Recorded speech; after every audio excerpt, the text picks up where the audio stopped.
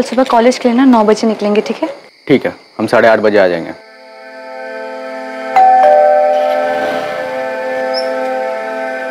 खाना रेडी है माँ? हाँ। आ रहे हम।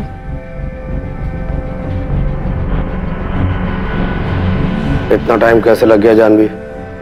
पापा वो इकोनॉमिक्स की एक्स्ट्रा क्लासेस ना वो लेट शुरू हुई थी तो लेट खत्म हुई इसलिए हमें लेट हो गया। क्लास में थी या कहीं और? हम क्लास में ही थे। आप चाहे तो आलोक से पूछ सकते हैं। ठीक है। पूछ लूँगा। जी पापा जी।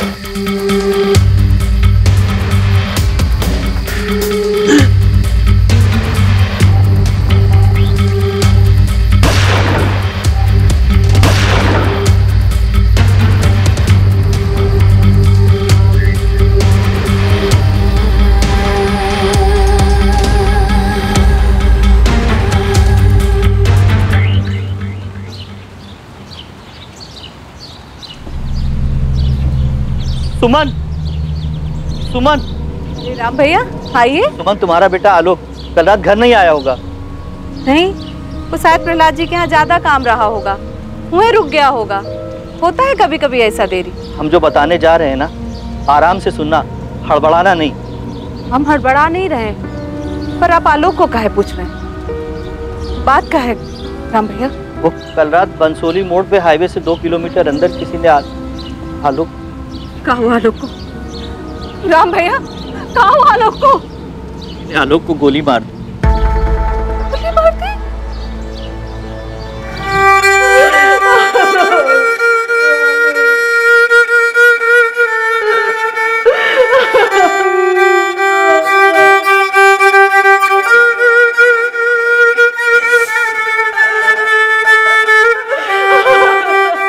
समाज के बनाए नियम समाज के बनाए दायरे और समाज में बने रिश्तों की सीमाएँ। ये हमारे जीने के तौर तरीकों पर ना सिर्फ़ हावी रहती हैं, बल्कि इसी ढांचे के तहत हम अपनी ज़िंदगी जीते हैं। लेकिन तन और मन की इच्छाओं पर क्या कोई बंदिश हो सकती है? ज़रूरत किसी नियम को नहीं मानती। और इन्हीं नियमों की रेखा पार करने की कश्मकश कई बार जड़ होती है, जुर्म की।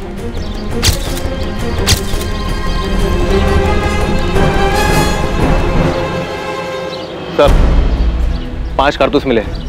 शूटर यहीं कहीं छुप के घात लगाए बैठा होगा। इस आलोक का रोज़ाना इसी रास्ते से घर आना जाना था? जी साहब वो लखनऊ में काम करता था। वो प्रहलाद चौधरी है ना? उसके पास। वो बाहुबली प्रहलाद चौधरी? हाँ साहब वही प्रहलाद चौधरी।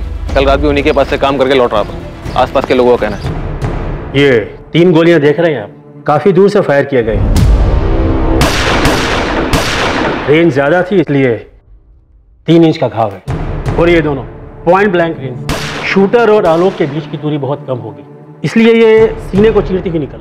स्किड मार्क देख के यही लगता है कि जब गोलियाँ चलाई गई आलोक बाइक चला रहा था। तीनों गोलियाँ एकदम सटीक निशाने पर लगी एक भी गोली इधर उधर नहीं। मतलब शूटर प्रोफेशनल रहा होगा। बिल्कुल।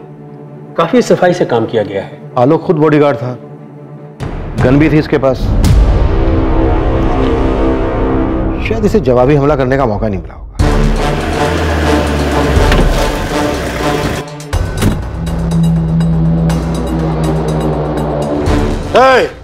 इंस्पेक्टर कौन मारा?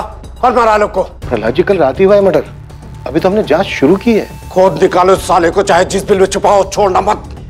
आलोक हमारा आदमी था हमारा वफादार हमारा बॉडीगार्ड अपने परिवार से ज़्यादा उस पर भरोसा करते थे। उसके कातिल को जेल में डालने के बजाय हमारे हवाले कर देना। हम देख लेंगे उसका जो करना शांत हो जाइए प्रहलाद जी शांत हो जाइए। आप चिंता मत कीजिए। हम हमारी कार्यवाही बहुत अच्छे से करेंगे। पूरा थाना को काम पे लगा दो। कुछ भी करो। 24 घंटे के अंदर उसका हत्यारा पकड़ा जाना चाहिए। साला प्रहलाद चौधरी के वफादार को मार डाला कोई मज़ाक है क्या? आप बेफिक्र होकर घर जाइए और विश्वास कीजिए मेरा हम हमारे काम में कोई कोताही नहीं बरतेंगे।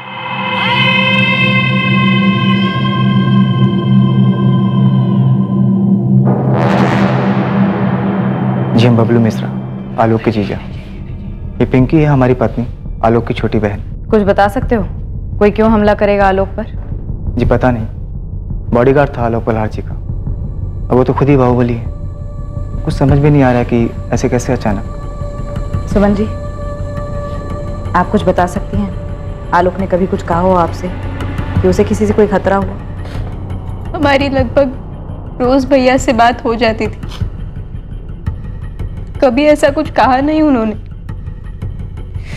और अगर उनकी किसी से अनबन हुई भी हो तो हम नहीं जानते। वो अपनी निजी ज़िंदगी की बातें हमसे नहीं करते थे। पर अगर ऐसा कुछ हुआ भी हो तो ऐसा भी क्या झगड़ा? जो जान ही ले ले। हमारी कुछ समझ में नहीं आ रहा है।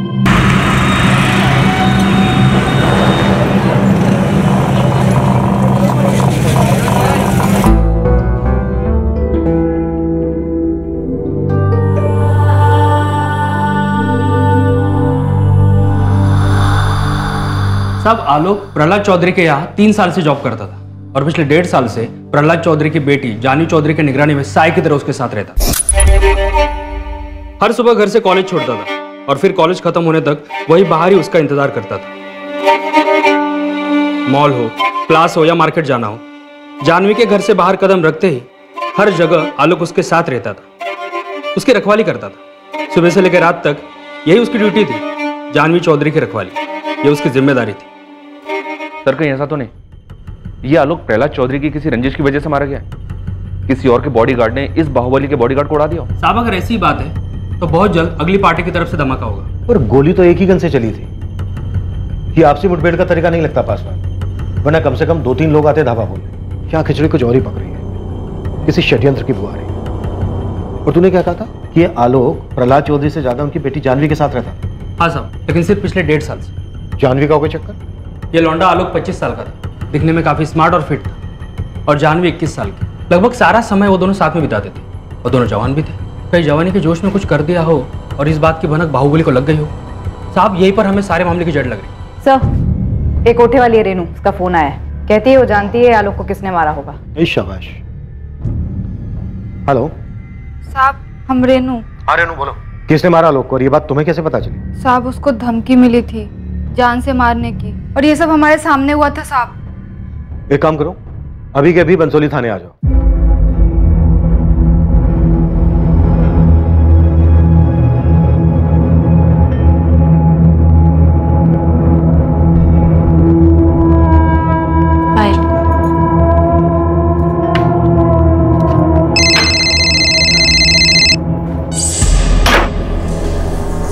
हेलो। हेलो निकिता। क्या तुम इन सब के बारे में जानती थी? कैसी बात कर रही हो शालिनी? अगर हमें कुछ पता होता तो क्या हम तुम्हें नहीं बताते? यार हमें ना बहुत डर लग रहा है। तुम ना चुपचाप अपना मुँह बंद करके आराम से बैठो। बस इतना याद रखो कि हम उसको बिल्कुल नहीं जानते थे। समझी? लेकिन निकिता हम उसे जानते थे। अरे शालिनी ये बात तुम जानती हो और हम जानते हैं और कोई नहीं जानता है। और पुलिस वालों को ना कुछ पता नहीं चलेगा। तुम समझ रही हो ना हम क्या कह रहे हैं? निकिता आखिरी संडे जब वो हमसे मिलने आया था ना तो उसने ना हमसे एक बात बोली थी। शालिनी हमें नहीं जानना है कि वो क्या कह रहा था। हमें नहीं सुनना। है तुम बताओगी ना तब भी नहीं सुनेंगे। बस हमें ना किसी पचड़े में पड़ना ही नहीं है। रो लो सुमन। रो लो। काहे नहीं रो रही हो? एक ही तो बेटा था तुम्हारा। हमारा बच्चा आलोक चला गया अपनी माँ को छोड़कर। बेचारी सुमन कोई बीस इक्कीस साल की रही होगी जब उसका पति उसे छोड़कर चल बसा। जैसे तैसे करके उसने अपने बच्चे को पाला और आज जब आलोक उसका सहारा बना तो ऊपर वाले ने उसे भी छीन लिया। रेनू बोलो क्या बताना चाहती हो? किसने मारा आलोक? साहब वही दोनों विकास और मोहित साहब। वो दस जून को आए थे हमारे कोठे पे। हमको कहीं बाहर ले जाने के लिए।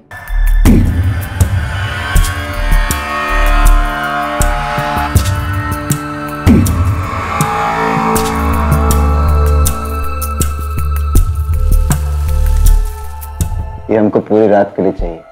बाद में मुँह मत खोलना रो मिला पूरी रात का मतलब सुबह छह बजे तक। एक मिनट भी ज़्यादा हुआ तो मुँह तो खुलेगा। अरे आ जाएगी आ जाएगी। हाथ थोड़ी ना जाएँगे। ए रेनू चल पक के तैयार होके आ जा। एकदम फुलझड़ी बन के आना। जा। जीन्स पहन लो चकाचक टॉप के साथ। ये ले। ओ रेनू आज तो चाँद की सैर करा दे फुल नाइट। दोनों कमीने एक रात के लिए हमको बुक क्या किए? अपने बाप का माल समझने लगे थे हमको। अरे साला ये सब नहीं होगा हमसे? अरे छोड़ो हमको। छोड़ छोड़। कैसे नहीं होगा।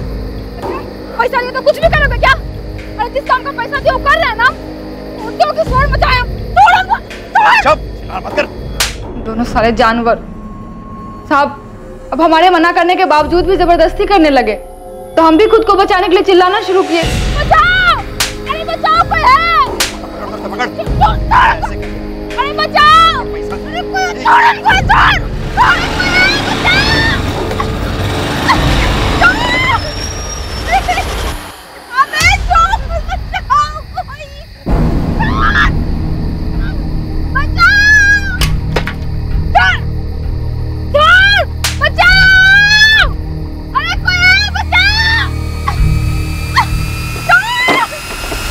कौन है बे तुम लोग? क्या चल रहा है यहाँ? सर साहब। साहब साहब ये दोनों हमारे साथ ज़बरदस्ती करने की कोशिश कर रहे हैं साहब। वो भी गलत तरीके से। हम आपको कैसे बताए साहब? चुप।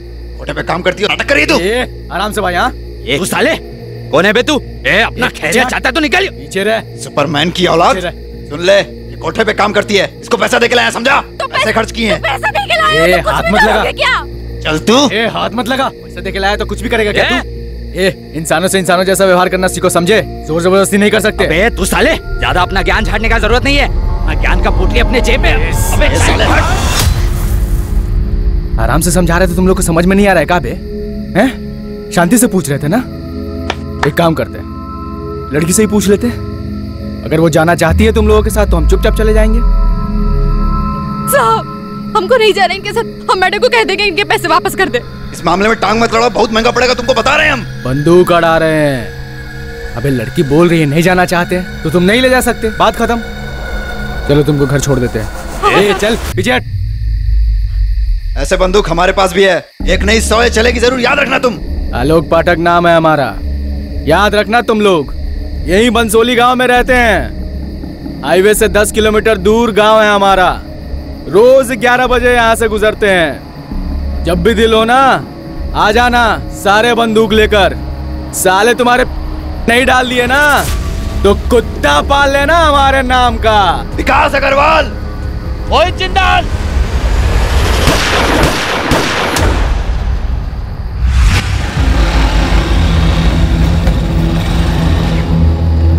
मदद करने के लिए थैंक यू हमारा नाम रेनू है। ठीक है जाओ अब। बहुत भला आदमी था साहब। इज़्ज़त से घर पहुँचाया हमको। तुम्हारी कहानी में काफ़ी ड्रामा है। तुम कहीं कहानी बना तो नहीं रही हो? क्योंकि आजकल के जमाने में इतना भला आदमी मिलना थोड़ा मुश्किल है। साहब हम क्यों ड्रामा बनाएँगे? सामने से आके आपको सब बात बता रहे हैं अखबार में देखे तो। खुदाइयो या किसी ने भेजा है कहानी सुनाने के लिए? मत मानिए हमको क्या है? पहले क्यों नहीं गई तुम पुलिस के पास? हद करते हैं साहब आप। पुलिस में जाते तो हमारी सुनता कौन? अभी सामने से आके आपको सब बात बता रहे हैं तो आपको हम पर यकीन नहीं हो रहा। शिकायत दर्ज करवाने जाते तो हमारी बात मान लेते आप लोग? नहीं। उल्टा हम ही को अंदर बंद कर देते। मोहित और विकास नहीं मारा आलोक को। हमको जो बोलना था सब हम बोल दिए हैं। अब आप देख लीजिए आपको क्या करना है।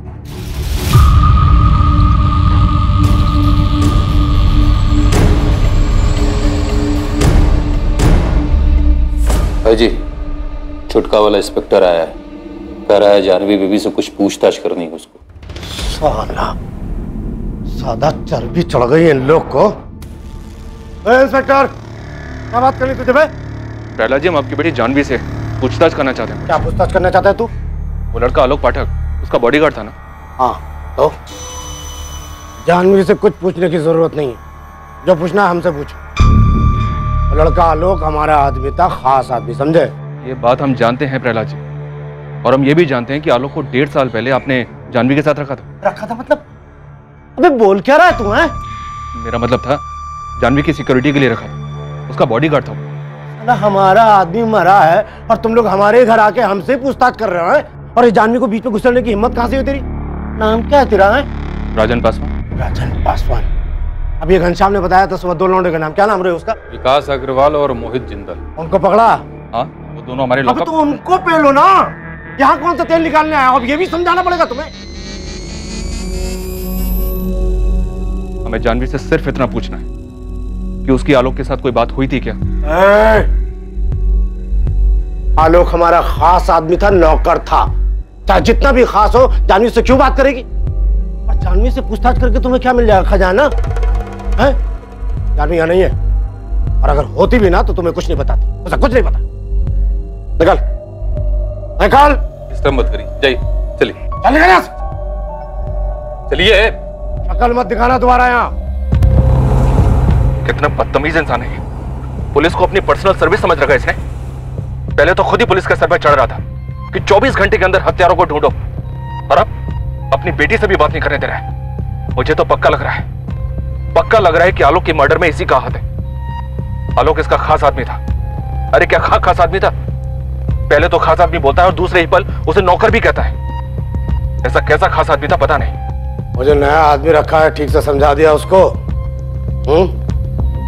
जानवी पे अच्छे से नज़र रखे। नज़र हटी तो जान से जाएगा। ठोक देंगे बता देना उसको। अच्छे से समझा दिए हैं और एक बार फिर बोल देंगे आप टेंशन मत लीजिए। अच्छा वो मर गया साला। अपने आप को सुपरमैन समझता था। क्रिया गर्म करो और भूल जाओ साहब। तुम दोनों ने खुद मारा आलोक को। क्या फिर किसी को भेजा था उसको मर्डर करने के लिए? सारी बात हम बताएँगे तो आप क्या करेंगे? अरे ओ इंस्पेक्टर आँख मत चलाना। मुँह से बात कर। एक मिनट में एक मिनट में ट्रांसफ़र करा सकते हैं? अबे तेरा एक मिनट खत्म होने से पहले डिसअपेयर कर दूँगा तुम दोनों को समझा? जितना पूछा जा रहा है उतना मुँह खोलो। बोलो। क्यों मारा आलोक को?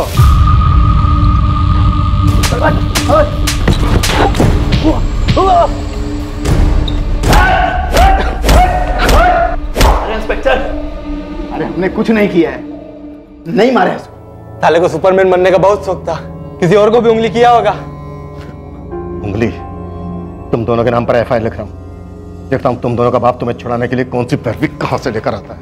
अरे हमारा यकीन मानो इंस्पेक्टर हमने नहीं मारा उसे।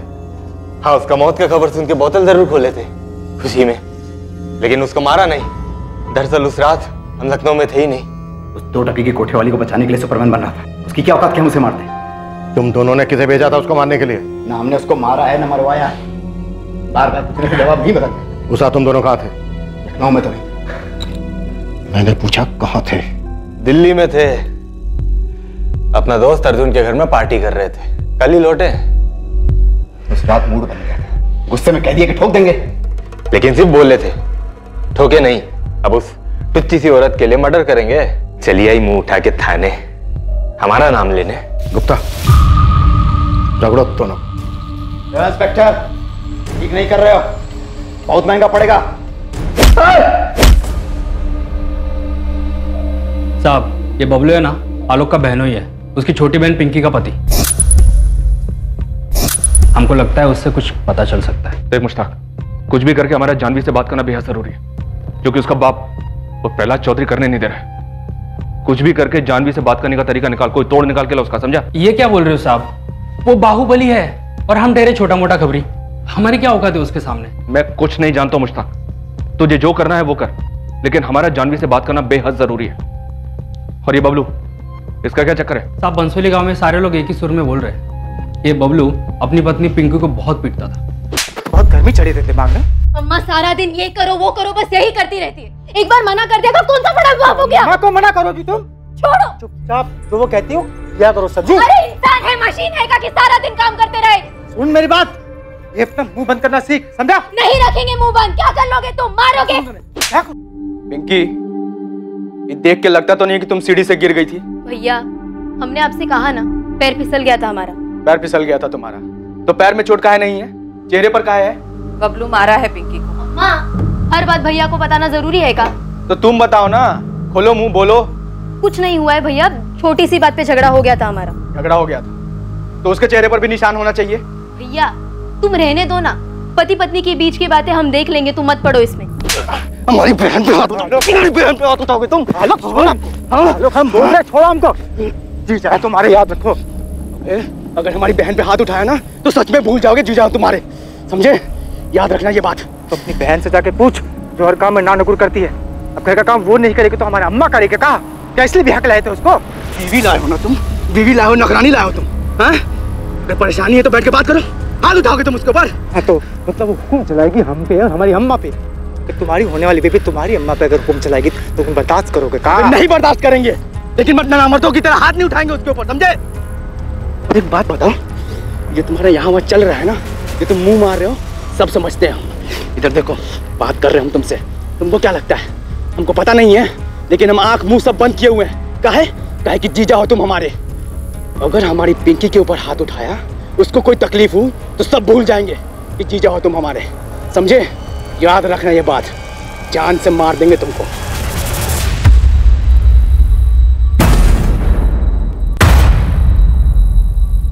इस इन्वेस्टिगेशन के तीन पहलू थे। एक तरफ़ अमीर बापों के दो बिगड़ैल बच्चे थे, जिनको रेनू के साथ गलत व्यवहार करने की वजह से आलोक ने पीटा था।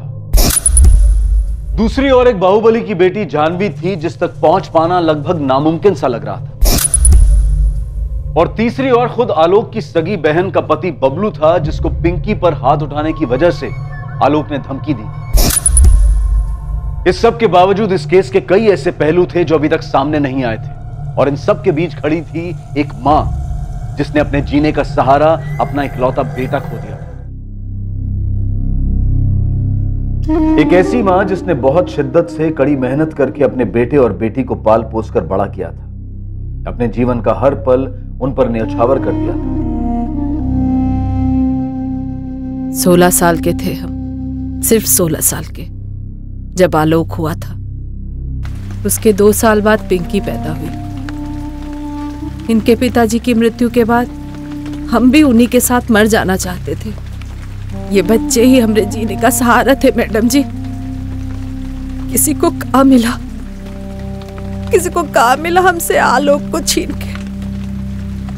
हमें दो लोगों पर शक है लेकिन किसी के खिलाफ कोई सबूत हाथ में नहीं है। हम आपसे आपके दामाद बबलू के बारे में जानना चाहते हैं। क्या आपको उस पर शक है? बबलू किया है ये सब? नहीं अभी हम ऐसा कुछ नहीं कह सकते। लेकिन क्या ये सच है कि आपकी बेटी पिंकी और बबलू के आपसी संबंध ठीक नहीं है? और आलोक ने बबलू पर हाथ उठाया था क्योंकि उसने पिंकी को मारा था? अगर बबलू गुनहगार है तो फांसी चढ़ा दीजिए उसको। गोली मार दीजिए। हमको कोई फ़र्क नहीं पड़ता। पूरे यकीन के साथ अभी नहीं कहा जा सकता कि उसी ने किया है। लेकिन हम आपसे पूछना चाहते हैं। क्या आलोक ने कभी कुछ ज़िक्र किया कि उसे कोई धमकी मिली थी? या फिर जानवी जानवी के बारे में कुछ कहा हो। कभी भी कोई भी बात जो आपके दिमाग में हो। जानवी वो उसके मालिक प्रहलाद जी की बिटिया। हाँ वही जानवी नहीं हमसे कभी कोनो ज़िक्र नहीं किया। मैडम जी आलोक ऐसा था ही नहीं कि वो अपने मालिक की बिटिया पर गलत नज़र डालेगा। आलोक ने कभी नहीं कहा कि उसकी जान को खतरा था। कोई उस पर हमला कर सकता था। हाँ आपके बेटे के पास तो बंदूक थी बॉडीगार्ड था। घर भी लाता होगा बंदूक। हम देखे हैं उसकी बंदूक, और ये भी देखे हैं कि वो हर जगह बंदूक को लेकर जाता था। रात में घर लौटते समय भी वो बंदूक अपने साथ ही लाता था। हम लगभग रोज ही उसका इंतज़ार करते थे। उसे अक्सर आने में देर हो जाती थी। वो जिद भी करता था कि, माँ, तुम खाना खाकर सो जाया करो। फिर भी हमारा मन नहीं मानता था। चौदह की रात को भी हम उसका इंतज़ार करते रहे।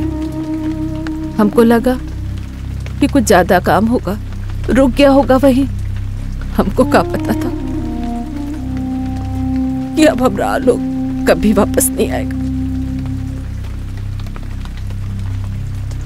आलोक हमसे कभी कोनो धमकी का ज़िक्र नहीं किया। आप गाँव में किसी से भी पूछ लीजिए, मैडम जी। उसका कभी किसी से कोई लड़ाई भी नहीं हुआ कि कोई उसकी जान ले ले। बंसोली का बच्चा बच्चा जानता है हमरे आलोक को।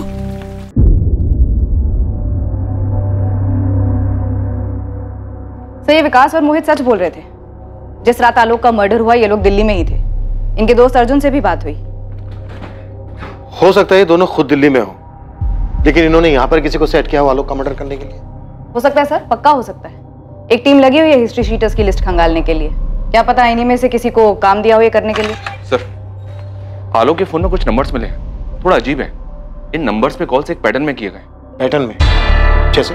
जैसे कि सर आलोक की नंबर्स पे सैटरडे शाम को और संडे को ही बातें होती थी। तकरीबन हर हफ़्ते। हंड्रेड परसेंट लड़की का मामला है। बस यही सामने आना बाकी रह गया था। चलो ये भी सही। सर ये है पहली लड़की शालिनी अवस्थी। और दूसरी? निकिता भारद्वाज। कानपुर से दोनों? लखनऊ से है सर। एड्रेस लखनऊ की पॉश लोकेलिटी का है। आलोक के पिछले तीन महीने के कॉलिकॉर्ड्स में ये नंबर्स लगातार दिखाई दे रहे हैं। कॉल करो दोनों। ठीक है सर। सर हमें जानवी तक भी पहुँचना चाहिए। यस सर जानवी से बात करना बेहद ज़रूरी है। ठीक है। मैं लखनऊ के सिटी एसपी से बात करता हूँ। लेकिन तब तक ये दोनों शालिनी और निकिता इन दोनों को बुलाओ। देखते हैं आलोक के साथ इनका क्या कनेक्शन है। ठीक है सर आलोक के जीजा बबलू की क्या रिपोर्ट मुश्ताक लगा है सर काम पर। ये बबलू आलोक से बहुत डरता था। लगता नहीं कि वो ऐसा कुछ करने की सोचेगा भी।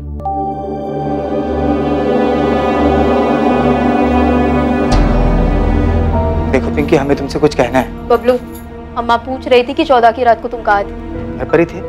और तुम जानते तो हो? हम जानते हैं पर तुम भी जानते हो कि उनके पूछने का मतलब क्या था? कि जब से अम्मा पुलिस वालों से मिली है ना तब से वो भी हम पर ही शक करने लगे।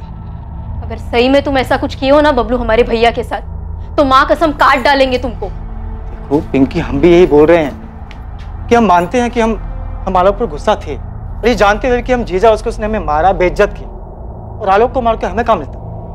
और आलोक का जाने का दुख हमको भी है। अब ऊपर से घर वाले भी हम पर शक कर रहे हैं। बस तुम अपनी अम्मा से एक बात कर दो कि इसमें हमारा कोई हाथ नहीं। एक तो चोरी ऊपर से सीना चोरी तुमको शर्म नहीं आती है? का शर्म नहीं आती है? हम बोल रहे हैं कि हम कुछ नहीं किए। लेकिन हमको एक बात पता है जो शायद पुलिस को नहीं पता है शायद। का? तुम्हारा भाई कुछ ज़्यादा ही हवा में उड़ रहा था। क्या मतलब? देखो बबलू भैया के बारे में बकवास मत करो तुम। वो बाहुबली की बेटी के साथ देखे थे उसको।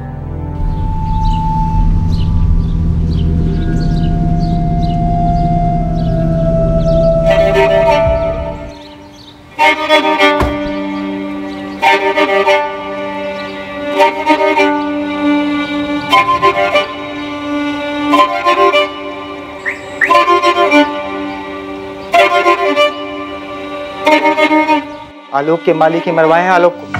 हम पक्का जानते हैं और बेवजह सबका नाम घचड़ा डाल रहे हैं। नहीं हमें तुम पे बिल्कुल भरोसा नहीं क्योंकि हमारे भैया ऐसे नहीं थे। अरे तुम्हारी कसम तुम्हारे भाई का उस जानवी के साथ चक्कर था। हम देखे तो दोनों को अपनी आँखों से।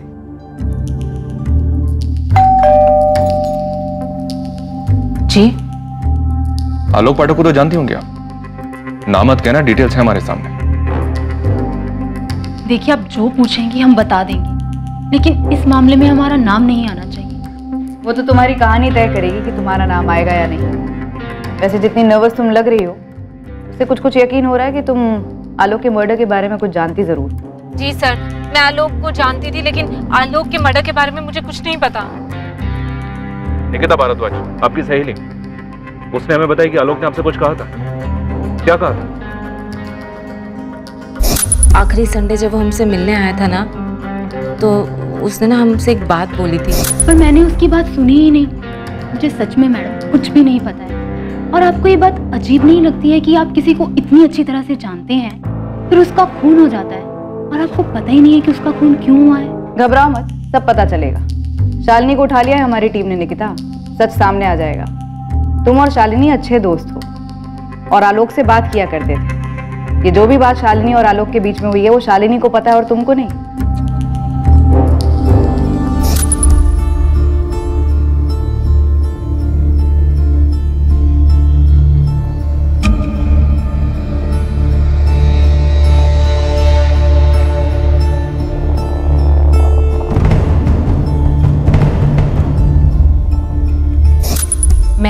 निकिता आलोक को चार साल पहले मिले थे। जिम में। वो वहाँ पर ट्रेनर था।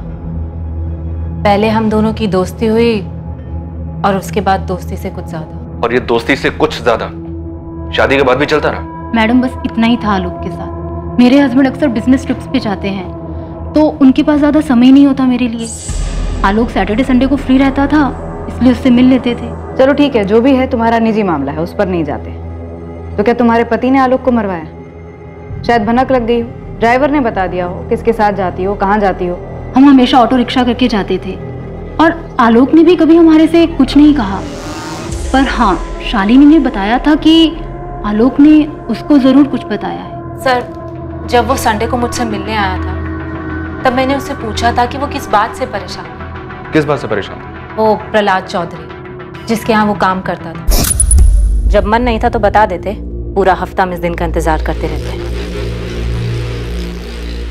अगर पैसों की ज़रूरत है तो हम दे देंगे। अरे नहीं। चिंता मत करो हम पैसे वापस नहीं मांगे कहा ना एक बार पैसों की ज़रूरत नहीं है। तो फिर क्या बात है? इतने परेशान क्यों? किसी और लड़की का चक्कर है क्या? आलोक हम तुमसे पूछ रहे हैं जवाब दो। तुम और निकिता दोनों अपने पति से खुश नहीं है ना?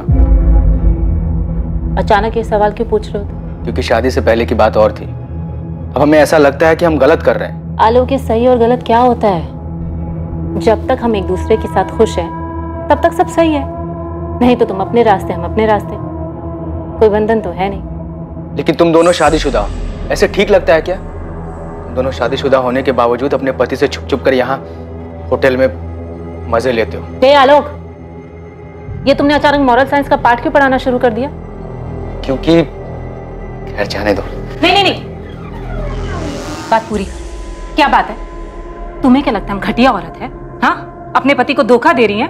दो पल के मज़े के लिए? ऐसा हमें नहीं तुम्हें लगता है। हमें नहीं लगता है। क्यों नहीं लगता? है सोचो। ये सवाल तुम निकिता से भी पूछोगे। हाँ।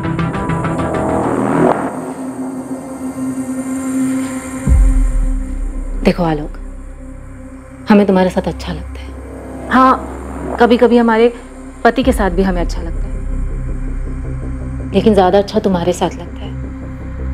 पर हम तुमसे शादी नहीं कर सकते। हैं तो हम कौन सा तुमसे शादी करना चाहते हैं? हाँ तो फिर इन सब सवालों का क्या मतलब है? क्यों पूछ रहे हो ये सब सवाल?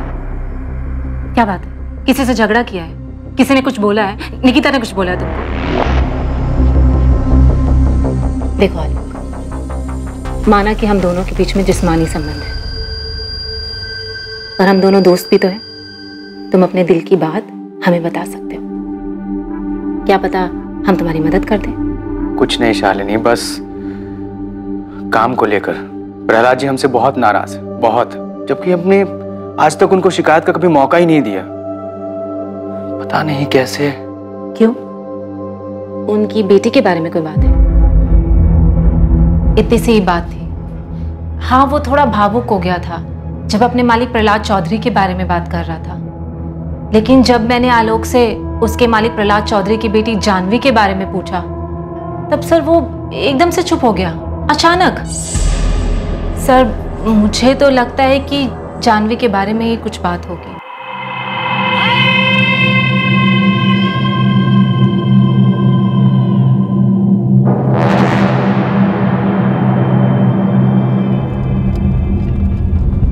तुम्हारी बगल वाली सीट पर आकर बैठ जाए। नहीं। हम तुम्हें छोटा नहीं समझते। ये आपका बड़प्पन है। पर जहाँ आप बैठी हैं बड़प्पन वहीं से अच्छा लगता है। तुम हमें धोखा तो नहीं दोगे ना आलो?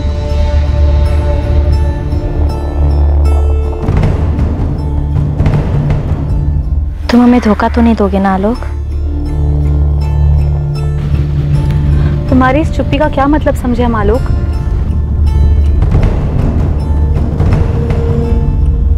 सर आलोक बहुत ही अच्छा लड़का था और बहुत ही सुलझा हुआ भी और अपनी माँ के भी बहुत क्लोज था। सर अब हमारे लिए जानवी से बात करना बेहद ज़रूरी है। थोड़ा और ज़ोर लगाना पड़ेगा। बाकी सारे एंगल्स एक तरफ़ और प्रहलाद चौधरी का एंगल एक तरफ़। सबसे मज़बूत कड़ी यही दिख रही है और वो है कि जानवी से बात ही नहीं करने दे रहा। इसलिए बार बार कातिल को पकड़ने की बात कर रहे हैं। ताकि उन पे से हमारा ध्यान हट जाए। सुधीर, कोई भी ठोस सबूत है तुम्हारे पास प्रहलाद चौधरी के खिलाफ? तुम्हें अंदाज़ा तो होगा ही कि वो कौन है। एक गलत कदम और वो हम सब पर चढ़ जाएगा। और फिर वो अगर गुनेगार रहा भी तो बात हमारे हाथ से निकल जाएगी। सर, हमें प्रहलाद चौधरी से बात करके कुछ नहीं मिलने वाला है। हम प्रहलाद चौधरी की बेटी जानवी से बात करना चाहते हैं, सर। ये लड़का आलोक पाठक जिसका मर्डर हुआ ये जानवी का बॉडीगार्ड और ड्राइवर था। ज़्यादातर समय ये दोनों साथ में होते थे। अगर गोली मारकर हत्या हुई है तो तुम सुपारी लेने वालों को क्यों नहीं टटोलते इस हत्या की जड़ वहीं मिलेगी। प्रहलाद चौधरी से बात करके कोई फ़ायदा नहीं होने वाला। अगर प्रहलाद चौधरी ने आलोक पाठक की हत्या करवाई है तो क्या उसकी बेटी ये बात बोलेगी? कभी नहीं। जिसने गोली चलाई है उसे ढूँढने पर फोकस करो। सर हम हिस्ट्री शीटर्स को भी खंगाल रहे हैं। लेकिन अभी तक कुछ हाथ नहीं लगा है तो कहीं और ढूंढो सुना। मैं फिर से कह रहा हूँ ये बाहुबली की बेटी से कुछ नहीं मिलने वाला। सर मैं कह रहा हूँ आलोक के मर्डर की वजह आलोक और जानवी के रिश्ते में छिपी है। ऐसी कई बातें सामने आई हैं जो इस तरफ़ इशारा कर रही हैं। ठीक है मुझे थोड़ा वक्त दो। मेरे लिए भी आसान नहीं होगा मुझे मेरे अपने सीनियर से बात करनी पड़ेगी। जैन सर। साहब आलोक को किसने मरवाया? कुछ पता चला का? अभी तक कुछ पता नहीं चला है सुमन जी। हम अभी भी कातिल की तलाश कर रहे हैं। उसके मालिक ने मरवाया का उसको? फ़िलहाल इस बारे में कुछ भी कहना मुश्किल है। सुमन जी आपको आलोक और उसके मालिक की बेटी जानवी के बारे में आपको कुछ भी पता नहीं। आलोक ने बताया नहीं कभी हमको इसके बारे में। पर वो हमारा बेटा था। हम कह रहे कि आलोक बिल्कुल भी ऐसा नहीं था कि अपने मालिक की बेटी पर नज़र डालेगा। वैसे भी कहा हम लोग और कहा वो लोग साहब? तो और कौन हो सकता है जो आपके बेटे को मार सकता बबलू। बबलू के खिलाफ कुछ मिला है का आप लोगों को? सब लोग कह रहे कि कि उसका हाथ हो सकता है। हम इस बात को लेकर भी जाँच कर रहे हैं। लेकिन अभी तक हमें ऐसा कुछ नहीं मिला है जो बबलू की तरफ़ इशारा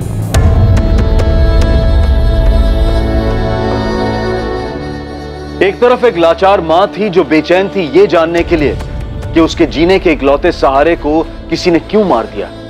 और दूसरी तरफ़ लाचार पुलिस थी जो बड़ी बेताबी से प्रहलाद चौधरी की बेटी जानवी से पूछताछ करने की परमिशन का इंतज़ार कर रही थी।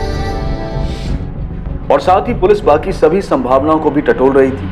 पुलिस ने इन्वेस्टिगेशन से जुड़ी सभी कड़ियों को ध्यान में रखा था ताकि कोई चूक ना हो। लेकिन क्या पुलिस सच में सही दिशा में अपने कदम बढ़ा रही थी? आलोक की हत्या के पीछे का कारण आखिर था क्या? आलोक जब हमसे मिलने आया था तब उसने अपने मालिक प्रहलाद चौधरी की नाराज़गी के बारे में हमें बताया था। लेकिन उसकी जान को खतरा उसने हमें ये नहीं बताया था। शालिनी तुम्हें क्या लगता है? क्या सिर्फ़ वही बात थी। शायद नहीं। क्योंकि वो जो हमसे बात कर रहा था वो प्यार मोहब्बत वाली बात तो नहीं थी। बात कुछ और ही थी। किसी नैतिकता की बात कर रहा था। क्योंकि शादी से पहले की बात और थी। अब हमें ऐसा लगता है कि हम गलत कर रहे हैं। हाँ कोई बंधन नहीं है। लेकिन तुम दोनों शादीशुदा हो। ऐसे ठीक लगता है क्या? दोनों शादीशुदा होने के बावजूद अपने पति से छुप छुप कर यहाँ।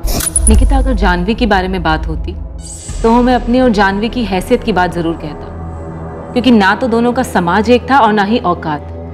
और हमें एक बात समझ नहीं आई। इन सब बात में नैतिकता की बात कहाँ से आ गई? तो फिर आलोक कहना क्या चाह रहा था? किससे खतरा था उसको?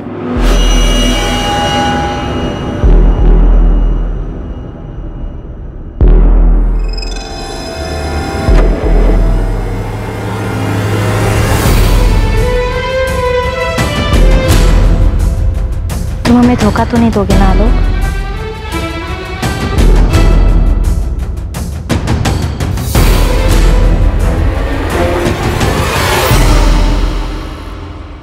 चल भाई राजेश अब तो बता आलोक को किसने मारा? मुस्ताक सारे शूटर बेरोजगार बैठे हैं। कोई काम पे ही नहीं बुलाता है।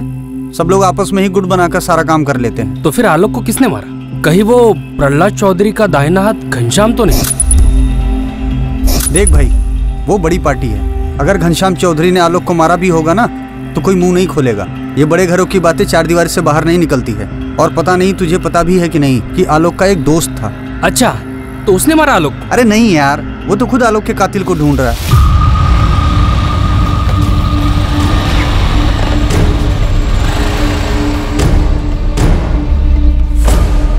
पुलिस कह रही है कि आलोक के मालिक ने ही उसको मरवाया भरत। पक्की बात है ये। ये हमको नहीं मालूम भरत। पर जिस तरह से पिंकी कह रही है कि बबलू ने कुछ नहीं किया है पर हमको बार बार लग रहा है कि बबलू ने ही कुछ संभालिए अपने आप। हम हैं ना आपके साथ। तुम्हारी कोनो बात हुई है पुलिस से कहा? ना अब तक तो नहीं। लेकिन हम भी आलोक के कातिल के पकड़े जाने का इंतज़ार कर रहे हैं। भरत गुप्ता नाम है उसका। आलोक का ये जो दोस्त है ना भरत आजकल काफ़ी जोश में है कातिल को पकड़ने के लिए। पर ये सामने कैसे नहीं आया अभी तक? सामने कैसे आता? उसको तो पुलिस पे भरोसा ही नहीं है। जैसे तुम कातिल को ढूंढ रहे हो ना वैसे वो भी हिस्ट्री सीटर की हिस्ट्री खंगाल रहा है कि आखिर आलोक पर गोली किसने चलाई? या हो सकता है उसे लग रहा हो कि पुलिस अपना काम ठीक से नहीं कर रही है? इसका मतलब है कि प्रहलाद चौधरी का इसमें कोई हाथ नहीं। ऐसा नहीं है यार और अगर ऐसा है भी तो भरत पहले उसे ढूंढ रहा है जिसने आलोक पर गोली चलाई ताकि वो सुपारी देने वाले तक पहुँच सके। तो क्या जानू का चक्कर है? हो सकता है लेकिन तुम एक बार मजनू खेड़ा जाकर नज़र घुमा लो। वहाँ तुम्हें कविता शुक्ला मिलेगी। अब ये कविता शुक्ला कौन है? उस जानवी के चक्कर का खुलासा भी नहीं हुआ था तो उसके पहले दो और चिड़िया बाहर आई। चालिनी और निकिता। उससे पहले रेणु थी। कितनी सारी औरतों को फंसा रखा था इसने। तुम एक बार मजनू खेड़ा चक्कर तो लगाओ। तुम्हें ऐसा किस्सा हाथ लगेगा कि आलोक की माँ से लेके बहन तक सबकी याददाश्त वापस आ जाएगी। उसके चर्चे गाँव में अभी बंद नहीं हुए हैं।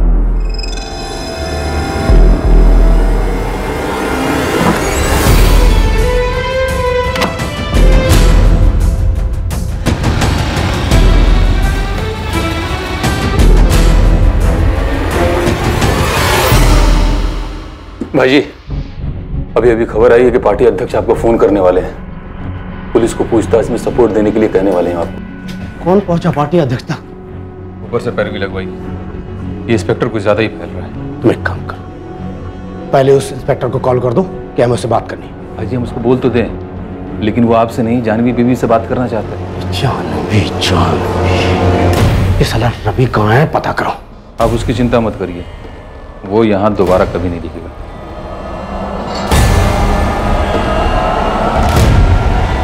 कविता शुक्ला। अब ये क्या नहीं बुलाया मुझे कौन है कविता शुक्ला? मजनू खेड़ा की रहने वाली है साहब। शादीशुदा औरत है। संजीव शुक्ला पति का नाम। ये संजीव शुक्ला मजनू खेड़ा में छोटा मोटा कारोबार करता है। इस कविता का आलोक के साथ अफेयर था? अफेयर की बात छोड़िए साहब। इस औरत की हिम्मत की तो दाद देनी पड़ेगी। अपने पति का घर छोड़ के आलोक के घर रहने चली गई थी।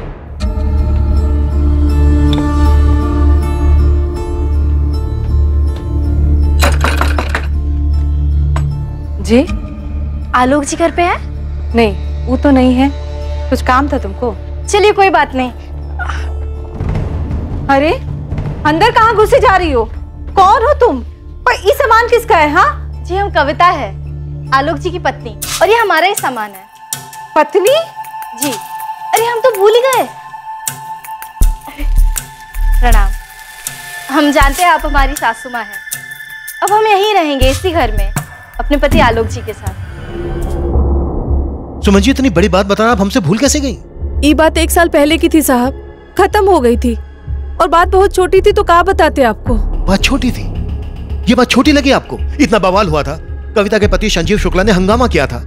एक औरत अचानक आपके बेटे आलोक की पत्नी बनके घर में आ गई पूरे दो महीने आपके घर में रही। और ये बात बतानी आपने हमें ज़रूरी नहीं समझी। तो क्या ये सब कविता और उसके पति संजीव ने किया है? पता नहीं। आप ही बताइए क्या है ये सब? कविता वाली बात आपको छोटी लगी इसलिए आपने हमें बतानी ज़रूरी नहीं समझी। और आपके बेटे आलोक के दोस्त? भरत उसका क्या? वो खुद आलोक के कातिल को ढूँढने में लगा है। हो हो क्या रहा है ये?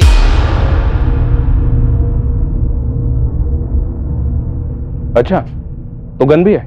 मतलब अगर आलोक का हत्यारा तुम्हें मिल जाता तो उसे गोली मार दोगे? इसका लाइसेंस भी है हमारे पास। जिस फैक्ट्री मालिक यहाँ रखवाली करते हैं ना उसने दिलवाई है। अगर आलोक के हत्यारे को पकड़वाना था तो आकर हमारी मदद क्यों नहीं की? कुछ नहीं कर पाएँगे आप लोग उसका। उसकी ताकत है ना आप सबको दबा देगी। एक मिनट। किसकी ताकत की बात कर रहे तू कौन है जिसने आलोक को मारा है या मरवाया? आपको क्या लगता है? पता होता हमको तो उड़ा नहीं दी होते अब तक। कौन है बेतू इस मोहल्ले का हीरो है तू हाँ? क्यों उसे उड़ा देता? आलोक दोस्त था मेरा। तो ठीक है थाने में चढ़ के बात करते हैं। तुम दोनों की दोस्ती की और आलोक के दूसरे दुश्मनों की। चल बैठ बैठ। सर जानवी का फ़ोन आया था सामने से। क्या करेंगे? हमसे बात करना चाहती है। कुछ बताना चाहती है हमें। हम एक बात बताना चाहते हैं। पर वादा करो कि उसके बाद आलोक के हत्यारों को सजा मिलेगी। तुम बताओ तो सही किसने मारा आलोक को? पहले ये बताओ कि आलोक के हत्यारे को सजा मिलेगी या नहीं? जानवी कल यहाँ आने को तैयार है। उसे कॉलेज के पिछले गेट से पिक करना होगा और कॉलेज खत्म होने के पहले वहीं ड्रॉप करना होगा। ज़रूर जानवी को पता है कि ये सब कुछ उसके बाप का ही किया था है मुझे भी ऐसे ही लगता है।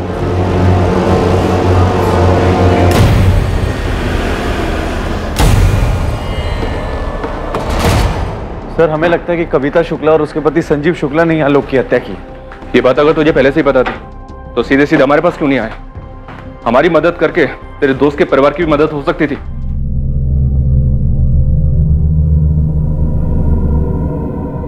क्या आलोक की माँ सुमन जानती थी कि उसके बेटे का हत्यारा कौन हो सकता है?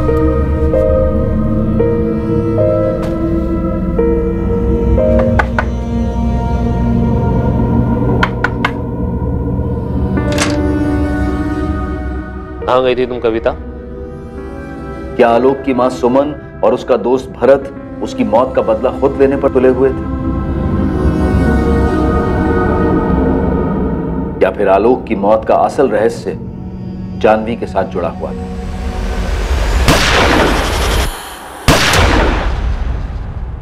ज़िंदगी की कश्मकश में कई दायरे पार किए गए थे। पर वो कौन सा दायरा था जो आखिरकार आलोक की मौत का कारण बना? आलोक की मौत का कारण चौंका देने वाला था। उसकी मौत के पीछे की साजिश इतनी घिनौनी होगी, ये किसी ने सोचा तक नहीं था। इन रहस्यों का पर्दाफाश कोई और नहीं, बल्कि आलोक का दोस्त भरत ही करने वाला था। आलोक को किसने मारा था और उसकी मौत का राज आखिर था क्या? ये पता चलेगा कल रात इस केस के दूसरे और आखिरी भाग में। अब मैं अनूप सोनी आपसे विदा लेता हूँ। फिर मुलाकात होगी, और हमेशा याद रखें। क्राइम और आपके बीच में सिर्फ़ इतना फ़र्क है कि आप कितने सतर्क हैं। सतर्क रहें, सुरक्षित रहें। जय हिंद।